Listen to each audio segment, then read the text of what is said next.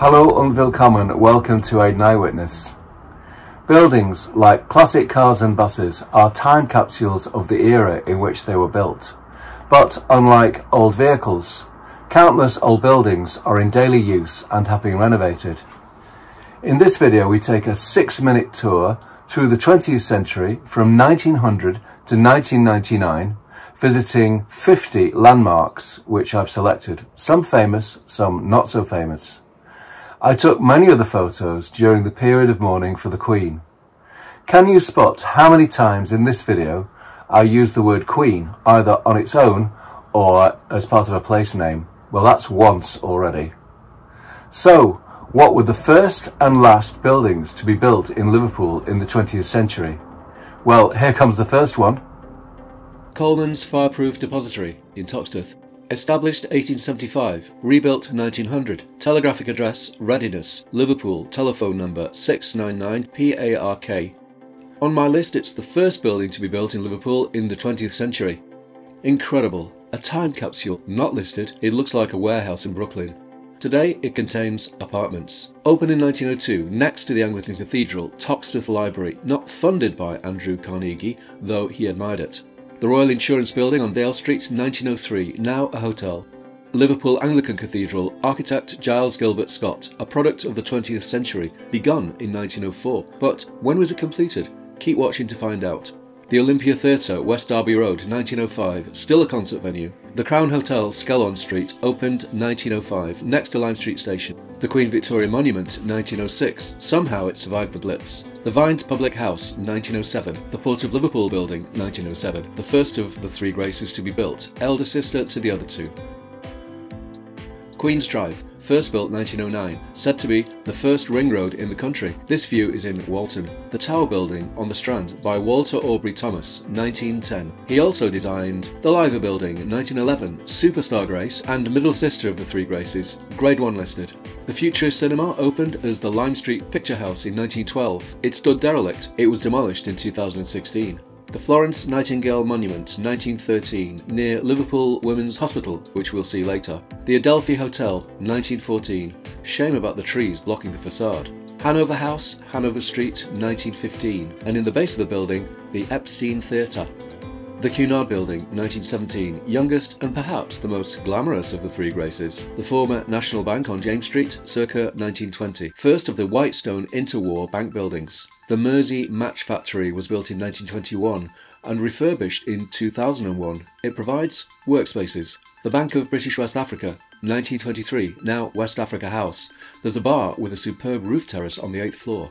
Keys Court on Church Street replaced St Peter's Church and opened in 1923. Now it's an entrance to the shopping centre Liverpool 1. The Liverpool entrance to the Queensway Tunnel was built between 1925 and 1931, and as part of the project, the Art Deco St George's Dock ventilation tower was completed in 1932. Next to the tunnel entrance, 151 Dale Street, now fully visible after the removal of the flyovers. The former Martin's Bank on Water Street, built 1932, has a splendid door and interior. Across the street, the magnificent India buildings.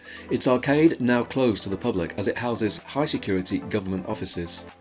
St Anthony of Padua Roman Catholic Church, in Mossley Hill, appeared in 1932, and the 1930s style street lighting on Queen's Drive disappeared in the early 2000s.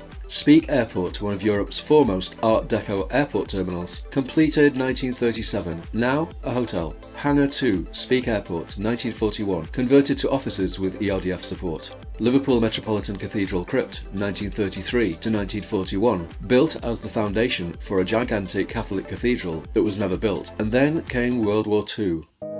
Much of Liverpool city centre was obliterated, but much survived, including Queen Victoria, whom we saw earlier. On the Blitz series in the 1950s, new buildings appeared, one of which, 1 Derby Square, former Pearl Assurance House, 1955. The new Lewis's Department Store, 1956. In recent years, it was restored and converted into apartments. Reliance House Water Street, interwar style building with a white stone facade, completed in 1956. The pleasingly designed Tate and Lyle sugar silo in the Liverpool docks, 1957, and its Grade 2 listed. St Ambrose Roman Catholic Church, Heathgate Avenue, Speke, 1961. The Pavilion, Jeff Hughes Memorial Sports Ground, Allerton, 1962. Liverpool Roman Catholic Metropolitan Cathedral, designed by Frederick Gibberd, Grade 2 star, took five years to build and was consecrated on the Feast of Pentecost, 14th of May 1967. St John's Beacon or Radio City Tower, completed in 1969, opened by Her Majesty the Queen, refurbished in 1999. St John's Shopping Centre replaced the old St John's Market and it opened for business in 1969. It was later officially opened by the Queen. The former Midland Bank at 4 Dale Street has unusual jewel-like windows, completed in 1971, Grade 2 listed. The Kingsway Tunnel Ventilation Tower, completed in 1971, looks like a gigantic stereo system with two speakers. A matching tower stands on the other side of the Mersey. The Mercure Atlantic Tower was designed to look like a ship and opened in 1973. Newhall Place, brutalist style office complex nicknamed the Sandcastle, was completed in 1974. The Al Rahma Mosque in Toxteth, completed 1974, the focus for Liverpool's Muslim population. The Anglican Cathedral, Grade 1 listed, was finally completed in the year 1978. A Thanksgiving service was held on the 25th of October of that year in the presence of Her Majesty Queen Elizabeth II.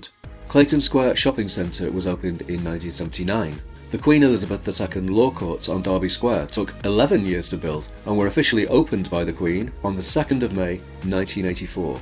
The Customs and Excise building in Queen's Dock was completed in 1993 and has since been converted into apartments. At the front there's a very attractive frieze. Liverpool Women's Hospital, with its white cladding and light blue metal roofs, was officially opened by Diana, Princess of Wales, in November 1995. And here it is, the last building to be built in Liverpool in the 20th century, at least on my list. It's the Queen Square Passenger Facility Building, completed in 1999 at a cost of £1.5 million.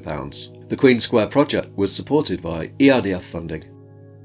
As we've seen, the Queen and previous Queens have left their mark on Liverpool. In this video I use the word Queen a total of 18 times, so let that be my tribute to the late monarch. By the way, I use these videos in my online classes to help non-native speakers learn English. Some have come here to study on university courses, including architecture. A PDF copy of the script is available, but only for my students. I want to promote Liverpool to the world. So if you found this video interesting or inspiring, then please like the video, post a comment and subscribe for all notifications. It really helps. Vielen Dank fürs Zuschauen und auf Wiedersehen in Liverpool.